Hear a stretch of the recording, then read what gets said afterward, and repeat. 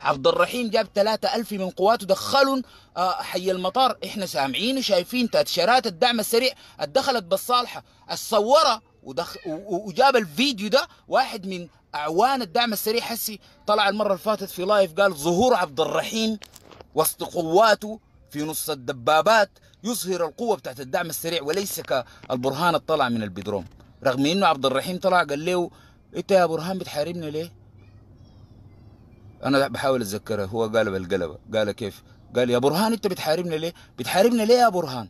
دي ما ظاهر الانكسار فيه وظاهر إنه قاعد لف نص دبابة معطلة في البوابة حقتها. لا ده طلعها بمظهر قوة. المولود سنة 1973 عبد الرحيم دلقو الذي ظهر وسط قواته. يا أخي بيزور في التاريخ وأنا قاعد. أنا أنا شايف. يا حبيب أنا شايف معاك. أنا شايف. تسأله تقول له الرهد يقول لك يا أخي الكيزان ديل بي اسمع الكيزان أنت ما تكلم بين الشعب السوداني. أنت ما تكلم الشعب السوداني عن الكيزان ما إحنا عارفينهم إحنا بنتكلم في إنه الطريقة اللي أنتوا بتتعاملوا بها مع الدولة دي بعدين السودان حيكون شكله شنو؟ يا برهان انت الهوان اللي وصلتنا له الآن ده إنه حنان تكون عارفة جدولة اله- الهدنة وإحنا بنستعد وإحنا بنتكلم عن جمعة غضب وإحنا بنتكلم عن إنه الشعب السوداني ينزل الشارع وبنتكلم بنستدعي المواطنين من برا والناس بيسمعونا والناس بيرسلوا إحنا جاهزين والناس يقول لك والله البساط وين؟ والبر السودان المغتربين اللي بقت زي ال- ال- ال- الخيول بيت الشابه بيسمعوا عن اللي بيتعرضوا له اولادهم كلهم قاعدين ما دارين يشتغلوا كلهم جايين. انت يا برهان الموضوع بتاع الهدنة نلقاه ان حنان يعني وصلت بيك المرحلة دي كيف؟ وانت بتستت... ب- بترجع في في في في في في في, في التاريخ والسنن الكونية خيانة. والله العظيم سيدنا يحيى قتلته عاهرة قحاتية. قالت للملك تعرسني لكن تجيب لي رأس النبي ده. والله الشيطان شغله عجيب. نبي آي تقطع راسه أشرف فيه الخمرة. يا أخي أنت منين أنت عشان يعملوا لك الشغل ده؟ مع إنه الملك كان عارف قدرات النبي يحيى. ودخل الشجرة بلعته واتقسمت ونشروها النص وكده. قحاتية مرة. والله بي بي بي بي النسوان ديل عندهم عمايل كده بطالة خلاص مرات يعني بس شا يعني الشيله معاك كده ممكن. يا برهان الكلم حنان بالجدولة حقت الهدنة منه بس وريني من يوم السبت عارفاها أنتوا بتلعبوا علينا ولا شنو؟ واطلع السيد العميد طارق وتكلم عن النصر وقرب النصر وآيات الله. انت يا طارق الناس حتكفر بالله ولا كيف؟ ما قلت النصر قريب وإن الله يدافع عن الذين آمنوا. ده شعاري أنا هسه طالع بيه ما بقول له زول ما يدافع عني. اختبار إيماني في يظهر في الآية دي. إن الله يدافع عن الذين آمنوا. ما في زول يكتب عني كلمة. خلوني يا أخي ردموني طلعوني جينكوز ما عندكم شغل. ده شغل بتاع إله سيناريو حق إله. ما عندكم قضية. قاعد أنا محصن مؤمن. بنص الآية. الناس انت قلت لهم إن الله يدافع عن الذين آمنوا. نجي نلقى الموضوع ده إن حنان وصل حنان كيف؟ بس ده دار اعرفه أنا. حنان كلمتك القوة بتاعت القوات المسلحة اللي انت بتنتقديهم. كلمك السفير السعودي محمد بن سلمان المسهلين. كلمك الدعم السريع واحد من الثلاثة. الكلام ده كان بيكتبه الأستاذ عباس محمد في بداية الحرب. لما سألناه السؤال ده بقى ما بيكتب. بقى بقى ما قاعد يطلع يكتب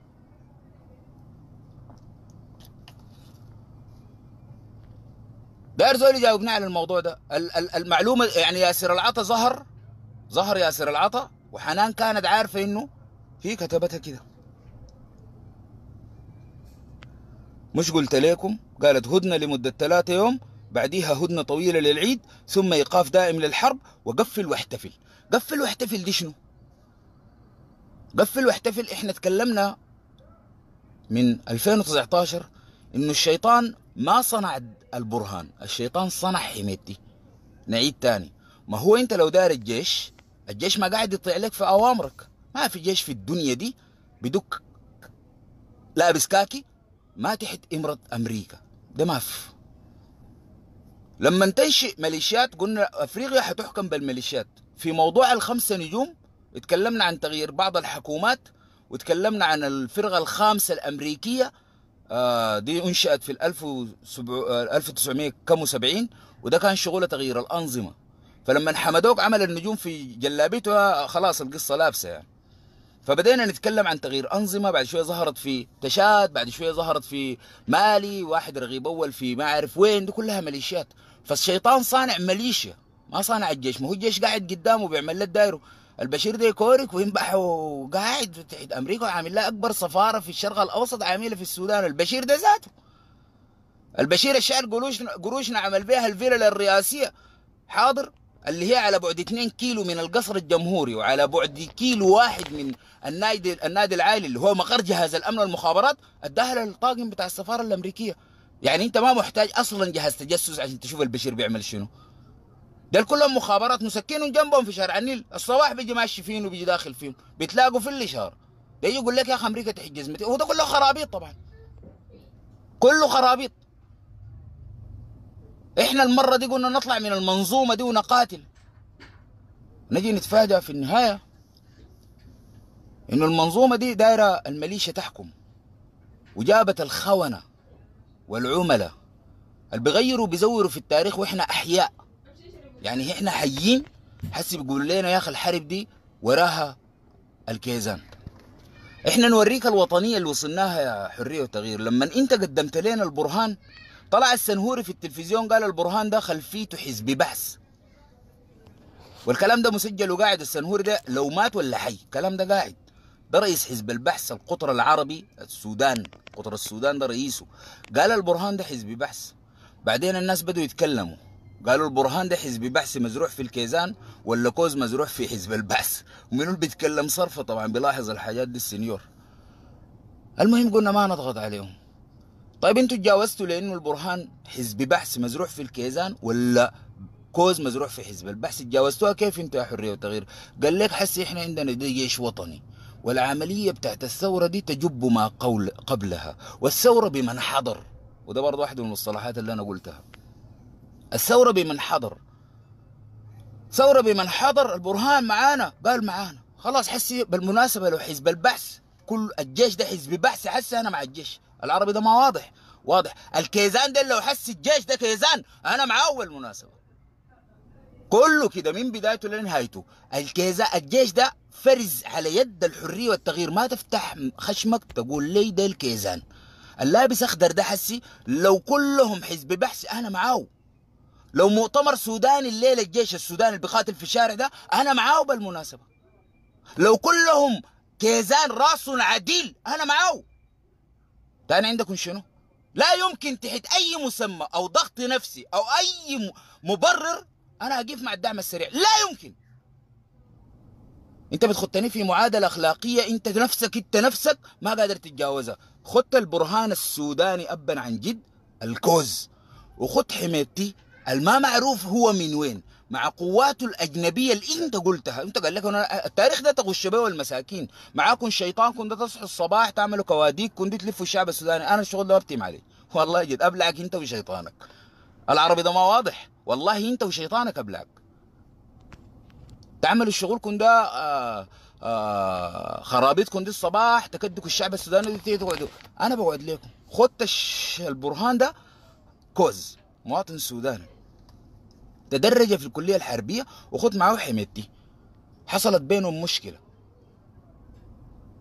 ما عندك أي خيار تحت أي مسمى. يا تقيف مع البرهان يا حميتي. هسه أنا قافلك في أوضة مظلمه تقيف مع البرهان ولا حميتي؟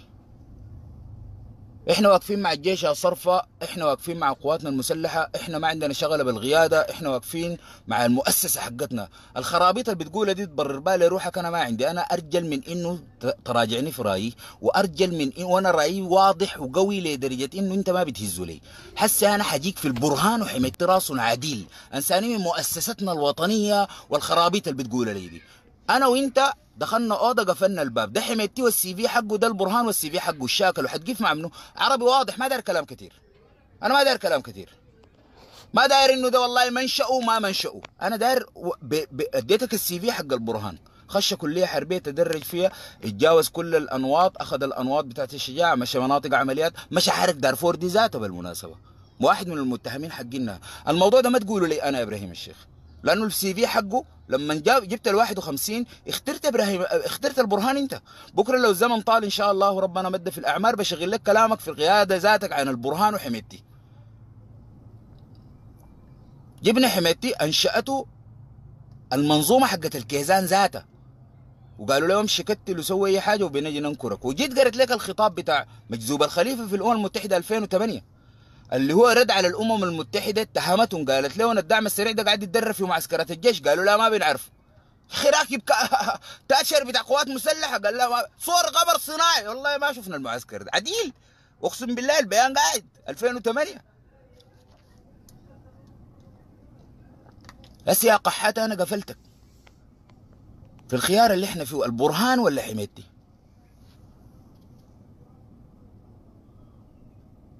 تجي تقول لي الليلة يا أخي؟ عشان فيه جيش كيزان.